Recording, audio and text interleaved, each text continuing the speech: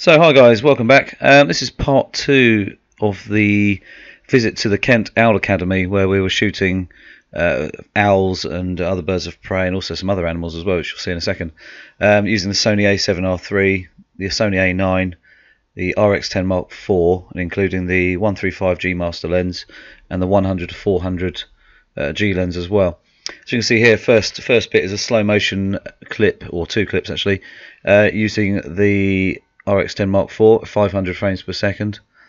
Uh, a little bit of difficulty because we're shooting straight up into the sky where we've got a lot of backlit leaves, so you can actually see a little bit of um, distortion through there. But other than that, it's pretty good.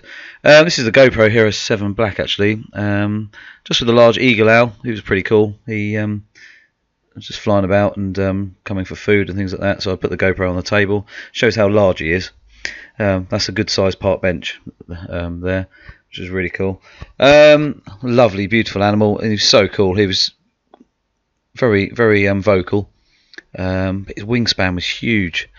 Um, as you see, me, me working around there. But um, we got some really cool shots of him in flight, obviously with the slow motion. Um, and even now, he just takes off as I walk around with the GoPro. It's just really, really cool bird.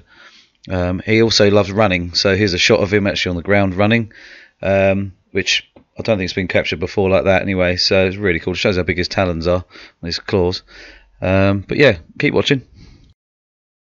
Um, father and son, and then the two girls. Cool. Hello. We used to have two other females before these two. Um, and one we had to put down, and then the other one was their daughter and um, sister. Yeah. The female's always boss. Okay. So she naturally would want to step up, meaning they all want to breed with her, and we didn't want interbreeding. Okay. So we um, we swapped them for two of the adults. I've gone through there. They're friendly, but Chuck not them down there. Yeah. But not like I don't know what you would think friendly. That they'll come over to you. Um, but if you put your thing near them bite off, so.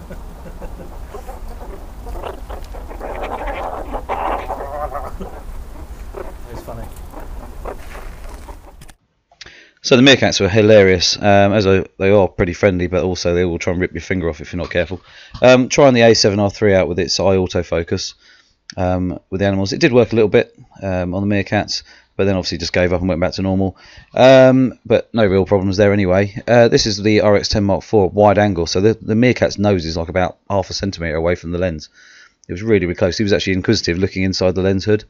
Uh, so I got a couple of shots there, and then obviously went back to trying to find these mealworms in there. Um, so all their cameras we were using all have their strengths, and um, it was really nice to be able to actually, you know, use all of them um, to get the shots we really wanted. This is a meerkat, but it's it was so bright I could actually shoot a really high shutter speed. So actually to get a, a silhouette shot of a meerkat it's kind of cool, and even the little hairs and everything kind of stick out nicely, which is just a bit different. That was all.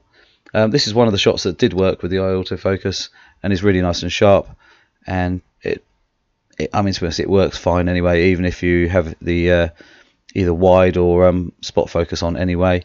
And then we got onto the snakes. Um, this one here, um, I'm using actually the 24mm Laowa probe macro lens, so it's up to two to one macro, which is I think I'm set almost at 1.5 macro there. Um, with LED lighting, you can actually just about see the the sort of nine little LEDs reflecting in its eye, um, and there you can see it's lit. But it really does make. I mean, this lens here is set to the minimum um, focus. Uh, sorry, minimum aperture is f14, so you need the light. If it's a bright sunny day, you're fine. If not, you have got the LEDs just to help you. There it is. There you can see how long it is um, and how close I am. Um, we were trying to get a shot of the with the tongue out, which eventually we did we did get um, a few shots. So um, with this lens, it is very hit and miss. You've got to be bang on with the focus um, and to get it right. But for video, it works really well as well. Um, it's also waterproof, so you can stick it in the water. Uh, this next um, uh, snake was a different matter. He was quite quick. Uh, wanted to keep moving all the time, so they're a little bit more difficult to photograph, especially with this lens. But I persevered a little bit, um, and this was quite cool. I quite liked it because he just literally just scrubbed himself right down the side of the lens as he went past, so you could see all the scales which worked really nicely. And that's me down on the ground. Um, John's taking a picture, and that shows you how quite big the snake was. It's quite a large one, but it did did want to keep moving, which was uh, I kind of expected it to, but not not quite as quick as it wanted to. So here's a little bit of slow motion of the the snake. We're holding it up. It was just sort of uh, thing. We wanted to get its tongue coming out, which we got those in slow motion there at 500 frames per second. So that's gone in and out already ages ago. Um, but as you can see, they're moving around quite quite well, and it's bloody really long. I'm surprised how much longer it was than the, there's the little black snake we saw earlier. Uh, here's the African bullfrog. He just didn't want to play ball. Put him down. We, I was trying to get shots of him. We put him into the uh, a water bowl, sat in there for about three seconds, and decided that was it, going out. So yeah, literally just turn around, not want the camera in my face at all. I'm just going to stick my bum at you.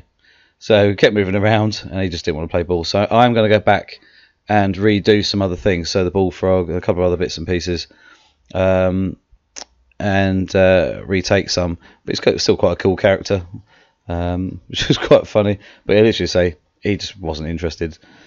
Um, it would have been really cool to be able to get a really nice shot of the reflections of him in water, but it, he just wasn't bothered. Um, so not playing ball at all there, which is a real shame.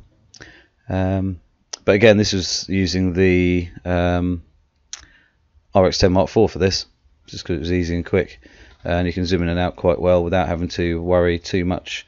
Um, as you can see, there, the depth drops off quite nicely.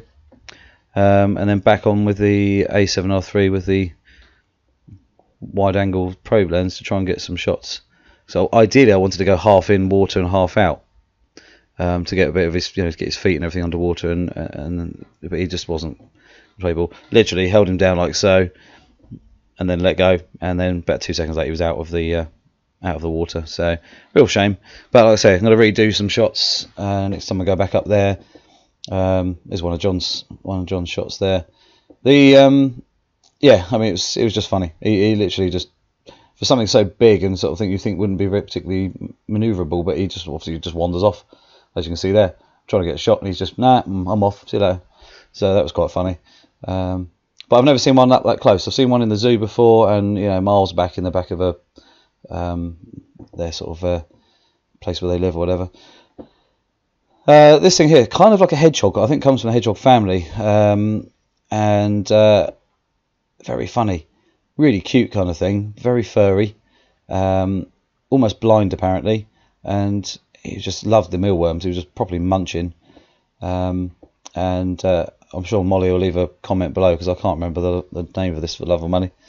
Um, but really, really funny. He just just constantly wants to eat those little mealworms. It's probably like munch, munch, munch.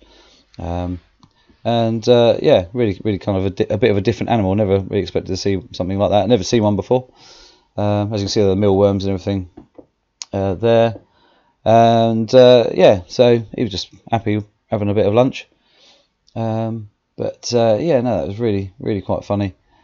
Just using his nose and everything, and eventually just wandered off and find some more mealworms and uh, way it went, sort of thing. So that was that was kind of cool.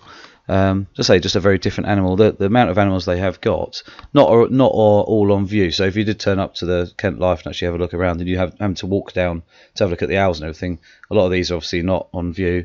Um, right, onto the tarantulas. So we had this one here which um, John snapped over the um, shot I was taking. Um, didn't like the lights, so that light coming out the front of the lens, it didn't like. So we reverted to doing a little bit of slow motion video. So we dropped a cricket in, and uh, it had lunch. So you can see its big fangs come out in a second and have uh, have a nice chomp on that uh, cricket there. There you go, big fangs come out now. Um, but again, we're going to try and do some more of these as well. But unfortunately, you can't predict what an animal is going to do. You, you, know, you can't control them 100%. You put them down, you let them do what they want to do, um, and uh, that's it. So a lot of the animals, you're kind of restricted on how much um, you can actually feed them because they will only eat one thing, or you know, for example, and that'd be it for a few a little while. So um, there's a little baby owl that's being hand reared. Um, it's a Ural owl. Um, looking forward to seeing that when it's a lot bigger and grown up. It should be interesting. Um, here's a little bit of video of it being fed. Um, so that was just a video of seeing a few of the other things we got up to that day. Um, we spent about eight hours there, I think. Um, a bit non-stop, but um, really, really good and uh, really lovely to uh, work with Molly and her team. And uh, so check out the Kent Owl Academy. Uh, and please don't forget to subscribe and click notification bell. I'll see you soon.